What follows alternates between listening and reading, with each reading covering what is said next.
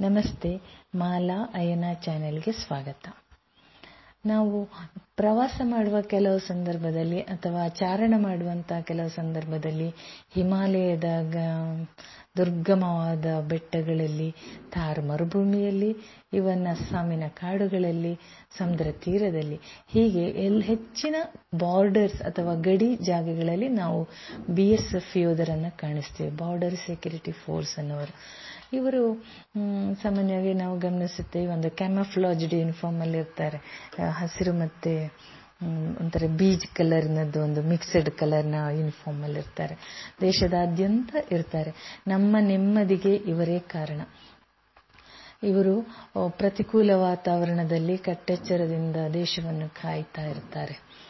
ಹೀಗೆ ನಾವು ಪ್ರವಾಸ ಮಾಡುವಾಗ ಅಕಸ್ಮಾತ್ ಯಾರಾದ್ರೂ ಅಲ್ಲಿ ಕರ್ನಾಟಕದ ಇದ್ರೆ ನಮ್ಮ ಕನ್ನಡ ಮಾತುಗಳನ್ನು ಕೇಳ್ಕೊಂಡು ಅವ್ರಿಗೆ ಗೊತ್ತಾಗ್ಬಿಟ್ಟು ಅವ್ರು ಖುಷಿಯಲ್ಲಿ ಮಾತಾಡ್ತಾರೆ. ಓ, ನಮ್ಮ ಊರಿಂದ ಬಂದ್ರು ಅನ್ನೋ ತರ ಅಭಿಮಾನ ಅವರಿಗೂ, ನಮಗೂ ಇಬ್ಬರಿಗೂ ಖುಷಿ ಆಗತ್ತೆ. ನಾವು ಹಿಮಾಲಯಕ್ಕೆ ಆ ಸೈಡ್ ಎಲ್ಲ ಹೋದಾಗ, ಅಲ್ಲಿ ಹಿಮಾಲಯದಲ್ಲಿ ಒಂದು ಗ್ರೇಟರ್ ಹಿಮಾಲಯ ಅಂತ ಹೇಳ್ತಾರೆ. ಒಂದು ಹತ್ತು ಸಾವಿರ, ಹನ್ನೊಂದು ಸಾವಿರ ಫೀಟ್ ಎತ್ತರದ ನಂತರದ್ದು. ಅಲ್ಲೆಲ್ಲ ಹಸಿರು ಏನು ಇರಲ್ಲ. ಬರೇ ಒಣಭೂಮಿ ಚಳಿ, ವಿಪರೀತ ಚಳಿ ಹಾಗೂ ಹಿಮ ಬೆಟ್ಟ ಸೊ ಒಣ ಬೆಟ್ಟ ಅಥವಾ ಹಿಮಬೆಟ್ಟ, ಇದೆರಡೇ ಜಾಸ್ತಿ ಇರ್ತದೆ. ಆಮೇಲೆ ಇಲ್ಲಿ ಜನಸಾಮಾನ್ಯರಿಗೆ ದೈನಂದಿನ ಜೀವನ ಅನ್ನೋದು ನಿಜಕ್ಕೂ ಕಷ್ಟ.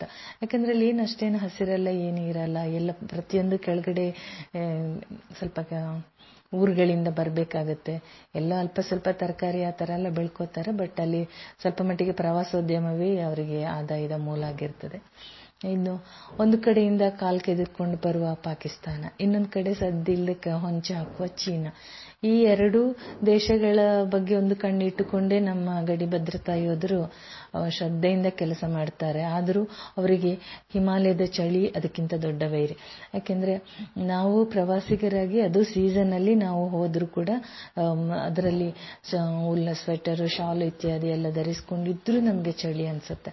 ಆದರೆ ಯೋಧರು ವರ್ಷದ ಎಲ್ಲಾ ಸೀಸನ್ ಅಲ್ಲೂ ಇರಬೇಕಾಗತ್ತೆ. ಚಳಿಗಾಲದಲ್ಲಿ minus temperature minus forty sixty ವರೆಗೆ ಕೂಡ ಹೋಗ್ತದೆ. ಅಂತ ಜಾಗಗಳಲ್ಲಿ ಕೂಡ ಅವರು ಕಟ್ಟೆಚ್ಚರದಿಂದ ಇದಿರ್ತಾರೆ ಅಲ್ವಾ? ಯಾಕೆಂದ್ರೆ ಬಗಲ್ನಲ್ಲಿ ದುಶ್ಮನ್ ಇದ್ದಾರೆ ಇದು ನಮ್ಮ ರಾಷ್ಟ್ರಕ್ಕೆ ನಿಜಕ್ಕೂ ದೊಡ್ಡ ತೊಂದರೆ ಕೊಡೋ ವಿಚಾರ.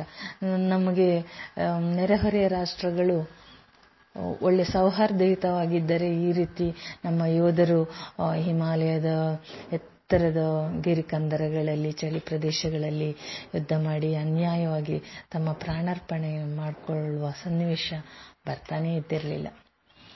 ಈಗ ನಮಗೆಲ್ಲ ಗೊತ್ತಿರುವಂಗೆ ಜಮ್ಮು ಕಾಶ್ಮೀರದ ಕಾರ್ಗಿಲ್ನಲ್ಲಿ ಸಾವಿರದ ಒಂಬೈನೂರ ತೊಂಬತ್ತೊಂಬತ್ತರಲ್ಲಿ ಯುದ್ಧ ಆಯಿತು. ಯಾಕೆಂದ್ರೆ ಭಾರತದ ಸೈಡಿನ ಲೈನ್ ಆಫ್ ಕಂಟ್ರೋಲ್ನಲ್ಲಿರುವ ಪೋಸ್ಟ್ಗಳನ್ನು ಪಾಕಿಸ್ತಾನಿ ಯೋಧರು ಅಥವಾ ಉಗ್ರರು, ಒಟ್ಟು ನುಸುಳುಕಾರರು ಅವರು ಆಕ್ಯುಪೈ ಮಾಡಿರೋದರಿಂದ ಈ ಯುದ್ಧ ಆಯಿತು. ಮೇ ಮೂರರಿಂದ ಜುಲೈ ಇಪ್ಪತ್ತಾರರವರೆಗೆ ಈ ಯುದ್ಧ ನಡೆದು, ಇದರಲ್ಲಿ ನಮ್ಮ ಯೋಧರು ತಮ್ಮ ಪೋಸ್ಟ್ಗಳನ್ನು ವಾಪಸ್ ಪಡ್ಕೊಂಡಿರೋದ್ರಿಂದ ಅದನ್ನು ಕಾರ್ಗಿಲ್ ವಿಜಯ್ ದಿವಸ್ ಅಂತ ಆಚರಿಸುವ ಇದು ವಿಚಾರ ಶುರುವಾಯಿತು. ಈಗ ಈ ದ್ರಾಸ್ ಎಂಬಲ್ಲಿ ಅಂದರೆ ಆಕ್ಚುಲ್ ಯುದ್ಧ ನಡೆದ ಟೈಗರ್ ಹಿಲ್ ಹಾಗೂ ಅದರ ಸುತ್ತಮುತ್ತಲಿನ ಜಾಗದಲ್ಲಿ ಈಗ ಒಂದು ವಾರ್ ಮೆಮೋರಿಯಲ್ ಇದೆ. ಹಾಗೂ ಸೇನೆಯಲ್ಲಿ ಅಂದು ಯುದ್ಧದಲ್ಲಿ ಹುತಾತ್ಮರಾದ ಐನೂರ ಇಪ್ಪತ್ತೇಳು ಮಂದಿಯ ಸ್ಮಾರಕಗಳಿವೆ. ಹಾಗೆ ಮ್ಯೂಸಿಯಂ ಇದೆ. ಸೊ ಒಟ್ಟಿನ ಮೇಲೆ ಈ ಭಾಗದಲ್ಲೆಲ್ಲ ನಮಗೆ ತುಂಬಾ ಇಮೋಷನಲಿ ಡಿಸ್ಟರ್ಬ್ ಆಗುತ್ತೆ ಈ ಜಾಗ ನೋಡುವಾಗ. ಅನ್ಯಾಯವಾಗಿ ಎಷ್ಟೊಂದು ನಮ್ಮ ಯೋಧರು ಜೀವ ತೆರುವಂತಾಯ್ತಲ್ಲ ಅಂತ. ಹಾಗೆ ಇಲ್ಲಿಂದ ಒಂದು ಇನ್ನೂರ ಎಂಬತ್ತು ಕಿಲೋಮೀಟರ್ ದೂರದಲ್ಲಿ ಇರುವಂತದ್ದು ಲೇಕ್ ಸಿಟಿ. ಇಲ್ಲಿಗೆ ಆದ್ರೆ ಸ್ವಲ್ಪ ಸುಲಭವಾಗಿ ತಲುಪಲಿಕ್ಕೆ ಆಗ್ತದೆ ವಿಮಾನದ ಮೂಲಕ ಅಥವಾ ರೋಡ್ ಮೂಲಕ.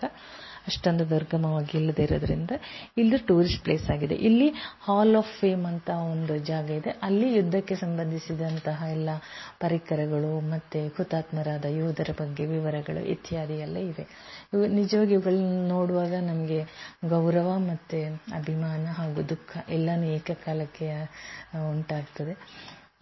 ಈ ಕಾರ್ಗಿಲ್ ಯುದ್ಧದಲ್ಲಿ ಭಾರತವು ವಿಜಯ ಗಳಿಸಿದ ದಿನ ಜುಲೈ ಇಪ್ಪತ್ತಾರು, ಸಾವಿರದ ಒಂಬೈನೂರ ತೊಂಬತ್ತೊಂಬತ್ತು. ಅಂದಿನಿಂದ ಈ ದಿನವನ್ನು ವಿಜಯ ದಿವಸ್ ಅಂತ ಆಚರಿಸುವ ಪರಿಪಾಠ ಆರಂಭವಾಗಿದೆ. ಇದೇ ವಾರದಲ್ಲಿ ಬರುತ್ತಿರುವ ಕಾರ್ಗಿಲ್ ವಿಜಯ ದಿವಸದಂದು ನಾವು ಎಲ್ಲ ಯೋಧರನ್ನು ಗೌರವದಿಂದ ನೆನೆಯೋಣ. Thank you.